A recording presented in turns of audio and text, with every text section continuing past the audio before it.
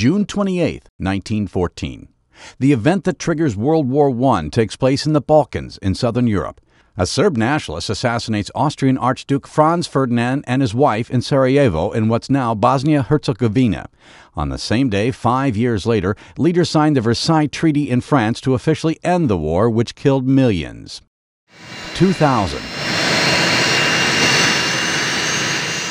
Elian Gonzalez leaves the United States with his father for their native Cuba. It's the final chapter of a bitter international custody dispute over the six year old boy. 1997. Boxer Mike Tyson is disqualified for biting Evander Holyfield's ear during their WBA heavyweight championship fight in Las Vegas. Tyson later says, I just snapped and reacted and did what many athletes have done and have and had paid the price for it.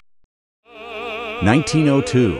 Oh, what a beautiful morning. Broadway composer Richard Rodgers is born in New York City.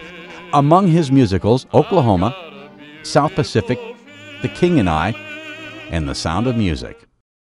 And 1926. I want to thank Hitler for being such a funny guy on stage. Mel Brooks, the comedian and movie director whose works include The Producers and Blazing Saddles, is born in New York City.